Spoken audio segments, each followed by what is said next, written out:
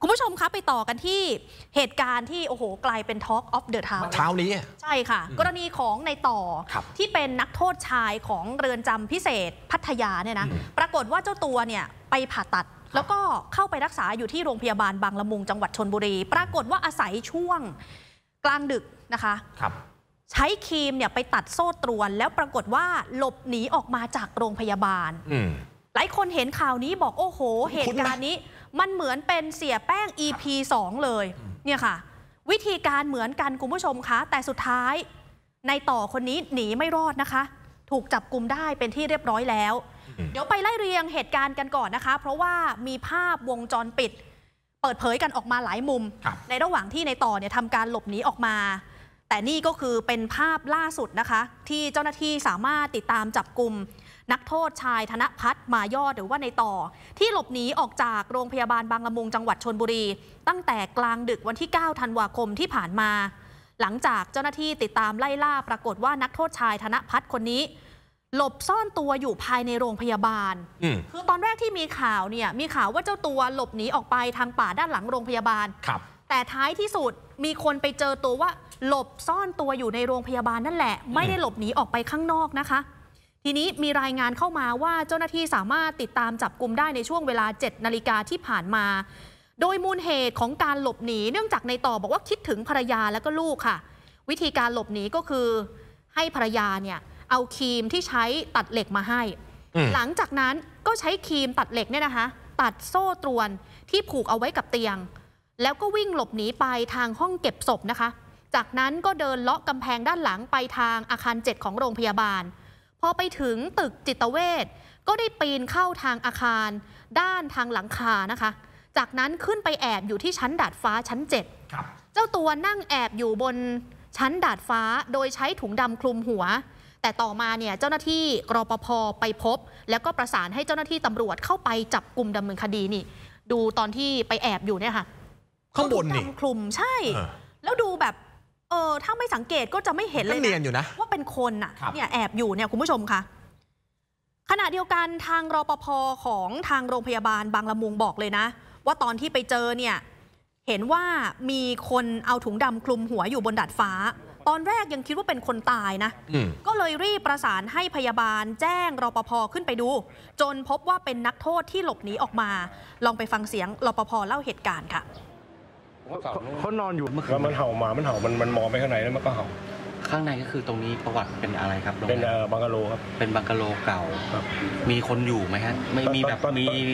ก็เรียกอะไรคนจรจัดหรือคนเล่ร่อนไม่มีครับไม่มีครับไม่มีเลยนะไม่มีครับเมื่อคืนหมาวิ่งเข้าไปเห่าเข้าไปครับลึกมันมันก็เข่าตรงเนี้ยมันมันมันเห่าเลยเพราะว่าไม่มีตัวตัวไอ้ตัวเงินตัวทองอยู่ด้วยแล้วมันก็มันก็เดินเข้าไปเล่นหมาอ๋อแค่สุดแค่นั้นมันก็เห่าแล้วอ๋อมันจะเดินครับแต่ปกติมันเห่าไหมไม่เห่าเห่าครับก็เห่าอยู่เนี่ยค่ะ ทีนี้พาคุณผู้ชมย้อนไปดูเหตุการณ์ที่เกิดขึ้นกันหน่อยนะคะ ตั้งแต่ที่ในต่อคนนี้หลบหนีออกมาจากโรงพยาบาล เหตุการณ์เกิดขึ้นช่วงเวลาประมาณตีสองของวันที่ 9 ธันวาคมที่ผ่านมานะคะ มีภาพวงจรปิด ภายในโรงพยาบาลหลายมุม จับภาพในต่อตอนที่กำลังจะหลบหนี ไปไล่เรียงดูกันเลยค่ะ ภาพแรกเป็นภาพที่เกิดขึ้นในช่วงเวลาประมาณหนึ่งทุ่มของวันที่ 8 ธันวาคม จังหวะนั้นเนี่ยจะเห็นว่ามีผู้หญิงคนหนึ่งนะคะ เป็นภรรยาของในต่อ เนี่ยเนี่ยเนี่ยชื่อว่านางสาววาสนากวยสุวรรณอายุ 30 ปีเนี่ยค่ะได้เดินทางมาเยี่ยมสามีนะคะ ขึ้นลิฟต์มา กดลิฟต์มาที่ชั้น 7 ของแผนกสัญญกรรมโรงพยาบาลบางละมุง โดยพบว่าด้านหลังของผู้หญิงคนเนี้ยมีการสะพายกระเป๋าเป้อืมแล้วก็คลุมทับด้วยถุงผ้าสีน้ำเงินนี่นะครัคะบเนี่ยจากนั้นก็เดินเข้าไปเยี่ยมสามี ซึ่งนอนอยู่บริเวณเตียงคนไข้หมายเลข 32นะอันนี้เป็นภาพมุมแรก หลังจากนั้นไม่รู้ว่าเกิดอะไรขึ้น แต่ตัดภาพมาอีกมุมหนึ่งคุณผู้ชมคะพบว่าในต่อเนี่ยใช้ครีมตัดเหล็ก ตัดโซ่ตรวนที่ข้อเท้าออกแล้วนี่ อันนี้ที่ข้อเท้าไม่มีโซ่ตัวแล้วนะ แล้วเดินลุกออกมาจากเตียงมาเข้าห้องน้ำมีภาพจากกล้องบริเวณหน้าห้องน้ำจับภาพตอนช่วงเวลาประมาณตีหนึ่งสี่สิบสามนาทีนะคะ โดยที่ในมือของในต่อเนี่ยยังถือโซ่กุญแจล็อกข้อเท้าอยู่เลย แล้วในมือซ้ายก็ยังถือครีมตัดเหล็กอยู่ด้วยคุณผู้ชมเนี่ยค่ะ จากนั้นตัดภาพมาที่กล้องอีกตัวหนึ่งเป็นกล้องที่อยู่ด้านหลังแผนกห้องสัญญกรรมนะคะ ในช่วงเวลาตีสี่ขออภัยตีหนึ่งสี่สิบสี่นาที ในต่อคนนี้ได้มีการเปิดประตูแล้วก็เดินเข้าไปในลิฟต์จากนั้นกดลิฟต์ลงมาชั้นหนึ่งในช่วงเวลาตีหนึ่งสี่สิบเจ็ดนาที แล้วก็เดินออกจากตึกอาคาร10นะคะ หายตัวไปบริเวณป่าด้านหลังโรงพยาบาลเนี่ยค่ะคุณผู้ชมจะเห็นว่าในช่วงเวลาตั้งแต่ตอนที่มีการใช้ครีมตัดเหล็กแล้วเนี่ยนะ ผ่านมาแค่ 3 นาทีเท่านั้นนะคะ แวบออกไป หลบหนีออกไปในป่าด้านหลังโรงพยาบาลแล้ว แล้วปรากฏว่า ตอนที่ได้รับแจ้ง เจ้าหน้าที่เนี่ยไปควานหาตัวในต่อครับไม่เจอตัวตั้งตอนแรกนะ แต่ว่าเจอในต่อเนี่ยเอาครีมตัดเหล็กอะไปทิ้งไว้อืมในป่าหญ้า เจอครีม เจอครีมเนี่ยเนี่ยเจอครีมแต่ไม่เจอตัวอืมนะคะ ตอนนั้นเจ้าหน้าที่ก็ยังสันนิษฐานว่าน่าจะหลบหนีออกไปนอกโรงพยาบาลครับแล้ว ก็เลยมีการปูพรมคุณผู้ชมคะ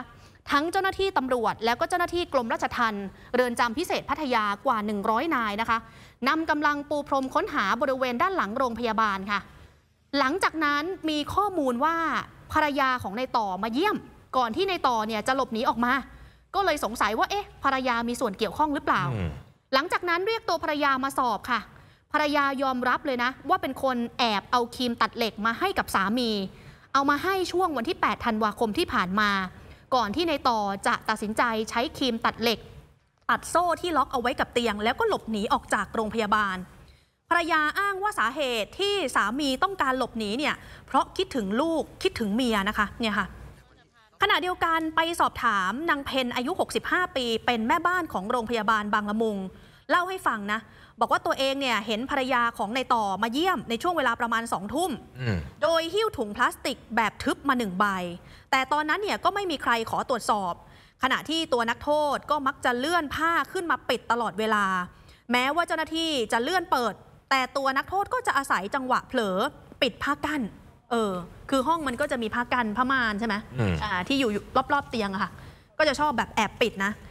ส่วนในช่วงที่นักโทษตัดโซ่ตรวนเนี่ยแม่บ้านบอกเลยไม่มีใครได้ยินนะคะ เพราะว่าผู้ป่วยเตียงข้างๆ เป็นอดีตนักโทษเช่นกัน แล้วก็เป็นคนที่ให้หยิบยืมโทรศัพท์ ในการนัดแนะภรรยาให้เอาของมาให้ด้วยค่ะใช้ครีมงัดโซ่เรียบก็ตีสองกว่าครับตีสองกว่าหน่อยๆอะคือคนไข้มันมันอันนี้โซ่เรียบร้อยแล้วอะตัดโซ่ ใช้ครีมงัดโซ่เรียบร้อยแล้วอะไอ้ที่ตรงข้อเท้าแล้วอะเขาหนีไปไงออกประตูข้างหลังแล้วเข้าเข้าห้องน้ำแล้วคนเฝ้าเขาอะเจ้าหน้าที่ที่เฝ้าเขาอยู่ข้างหน้า อ๋อแล้วเขาไม่เห็นเหรอตอนเราไป ไม่มีใครรู้อืมพอเปิดกล้องดูก็คือเขาเข้าห้องน้ำแล้วก็มาเปิดประตูตรงนี้ แล้วก็ออกมาวิ่ง เข้าลิฟต์ ลงมาเลยอะเจ้าหน้าที่หาตัวกันตอนกลางคืนเนี่ยนะครับในช่วงตีหนึ่งตีสองเนี่ยโอ้โหหาไม่เจอหรอกเพราะมันมืดด้วย แล้วก็เป็นป่าด้วยนะครับขณะเดียวกันด้านนายออสอายุ 72 ปี เจ้าของร้านชำในระแวกที่เกิดเหตุได้มีการเปิดเผยว่าบอกว่าเมื่อเวลาประมาณสักตีสองของคืนที่ผ่านมา สุนัข2อถึงสตัวที่อยู่บริเวณร้านเนี่ยนะครับ ได้เห่าเสียงดังเลย ซึ่งมักจะเห่าทุกครั้งนะครับที่มีคนเดินผ่าน เมื่อตนออกไปพบ เห็นสุนัขเนี่ยมันกำลังเห่ากันโชคเสียงดังเลยจนผิดสังเกต และก็มองไปภายในซอย ซึ่งเป็นบังกะโลเก่านะครับ แต่ตนไม่เห็นคนหรือว่าสิ่งผิดปกติแต่อย่างใด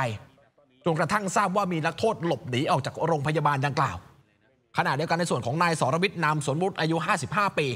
เป็นเจ้าหน้าที่รักษาความปลอดภัย อาคารผู้ป่วยตึก 10 ชั้นเนี่ยนะครับโรงพยาบาลบางละมุง ซึ่งเป็นบุคคลสุดท้ายนะที่เห็นนักโทษชายธนพัฒน์หมายอด ก่อนจะวิ่งหนีเข้าไปในป่านะครับ โดยเล่าให้ฟังว่าเมื่อช่วงเวลาประมาณสักตีสองเนี่ยนะครับ เห็นผู้ป่วยสวมใส่ชุดของทางโรงพยาบาล มายืนอยู่บริเวณด้านหน้าจุดรับส่งผู้ป่วย ตอนแรกคิดว่าเห็นเป็นผู้ป่วยจิตเวชนะครับค่ะเนื่องจากมีสีหน้าเนี่ยค่อนข้างกังวลเลย ยืนก้มหน้า มือด้านขวาเนี่ยถืออะไรบางอย่างอยู่ในมือไม่รู้ ตนเองจึงตะโกนถามว่าจะไปไหนคุยกันก่อนพอพูดจบเท่านั้นน่ะ ผู้ป่วยรายนี้กระโดดมุดราวกั้นเนี่ยหนีไปเลยฮะเข้าป่าไปด้านหลังโรงพยาบาลเลย ตนพยายามวิ่งตามไปแล้ว แต่ว่ารีบวิ่งไปยังไงก็ไม่ทันนะค่ะจึงรีบประสานให้หัวหน้าเนี่ยมาช่วยทำการตรวจสอบกันหน่อย ก่อนที่จะทราบว่าผู้ป่วยรายเนี้ยเป็นนักโทษชาย ซึ่งกำลังนอนพักรักษาตัวอยู่ที่แผนกศัลยกรรมชั้น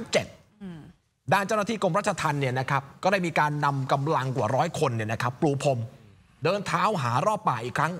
แต่ก็ยังหวังนะครับว่าจะพบตัวนักโทษชายในเมื่อค่วงคืนที่ผ่านมาอืมแต่ก็ไม่เจอไงค่ะแล้วในที่สุดเนี่ยคุณผู้ชมคะ ก็เจอตัวใช่ไหมเนี่ยค่ะ คืออย่างที่บอกไปว่าเจอตัวในต่อเนี่ยนะ คือไปหลบอยู่บริเวณหลังคาครับตรงที่เป็นดัดฟ้าค่ะคุณผู้ชม แล้วในที่สุดเนี่ยก็มีการควบคุมตัวเอาไว้ได้ ขณะเดียวกันคุณผู้ชมคะ ช่วงค่ำของเมื่อวานนี้นะคะ ทางด้านของรองอธิบดีกรมราชทัณฑ์ค่ะ คุณสิทธิสุทธีวงศ์ก็ได้ลงพื้นที่มาทำการตรวจสอบบริเวณป่าด้านข้างโรงพยาบาลบางละมุง รวมถึงขึ้นไปตรวจสอบแผนกสัญญกรรมชั้น 7 ที่บริเวณเตียงนอนนะคะ ที่นักโทษชายคนนี้ใช้ครีมตัดเหล็ก ตัดกุญแจล็อกข้อมือ รวมถึงจุดต่างๆ ที่นักโทษชายคนนี้หลบหนี แล้วก็มีการเปิดเผยนะคะ ว่าเบื้องต้นได้สั่งการให้เสริมกำลังทั้งชุดปฏิบัติการพิเศษ และเจ้าหน้าที่กรมราชทัณฑ์ในพื้นที่ ลงพื้นที่ปูพรมค้นหานักโทษรายนี้อย่างต่อเนื่อง ในส่วนของการลงโทษผู้คุมในกรณีที่ปล่อยปละละเลย ให้นักโทษหลบหนีไปได้ เบื้องต้น ท่านอธิบดีกรมราชทัณฑ์มีการตั้งคณะกรรมการสอบสวนข้อเท็จจริง หากพบว่ามีการกระทำผิด หรือบกพร่องในหน้าที่ก็จะมีการลงนามคำสั่งต่อไปนะ แต่อย่างไรก็ตามขอทำการตรวจสอบ แล้วก็สรุปสาเหตุที่แท้จริงอีกครั้งหนึ่ง อันนี้เป็นความเคลื่อนไหวเหตุการณ์ของเมื่อวานนี้อืมแต่ล่าสุดก็อย่างที่เราเล่าให้ฟังไปว่า7จ็ดโมงเช้าที่ผ่านมาเจอตัวนายต่อหรือว่านักโทษชายธนพัฒน์มายอดเรียบร้อยแล้ว ก็เจอว่าหลบหนีอยู่ในโรงพยาบาลนั่นแหละ เออเหมือนกับสับขาหลอกเจ้าหน้าที่เหมือนกันนะทำท่าทำทีว่าวิ่งว่าออกไปข้างนอกไงตรงป่าหญ้าด้านนอก สุดท้ายหวนกลับเข้ามาแอบอยู่ในโรงพยาบาลขณะเดียวกันคุณผู้ชมครับ โดยแพทย์ได้ทำการตรวจสอบร่างกายแล้วนะครับของผู้ต้องขังเนี่ยนะครับก่อนนำไปสอบสวนที่สพบางละมุงด้วยเพื่อส่งฟ้องศาลพัทยาให้แล้วเสร็จในวันนี้ก่อนเที่ยงนะครับ และจะนำตัวไปคุมขังที่เรือนจำมั่นคงสูงต่อไปครับอืมนี่ค่ะคือความเคลื่อนไหวล่าสุดที่เกิดขึ้นเลยเนี่ยนะฮะค่ะแต่ช่วงเช้าเราก็อ่านกันมาแล้วแล้วโอ้โห มันจะจับได้ไหมใช่ค่ะโอ้ผมกว่าร้อยคนน่ะ ซึ่งกลางคืนมันอาจจะมืดไงมองไม่เห็นไงก็จับได้แล้วนะได้แล้วฮะเนี่ยค่ะ ในต่อเนี่ยเหลือโทษอีกแค่ 1 ปี 10 เดือนเท่านั้นเองนี่เพิ่มนะเพิ่มไหมเออแต่ต้องโดนเพิ่มโทษแน่นอน แล้วก็ไม่ได้อยู่เรือนจำพิเศษพัทยาแล้วนะคะ จะถูกส่งไปอยู่เรือนจำความมั่นคงสูงนะอืมเพราะว่าเคยหลบหนีออกไป กรณีเนี้ย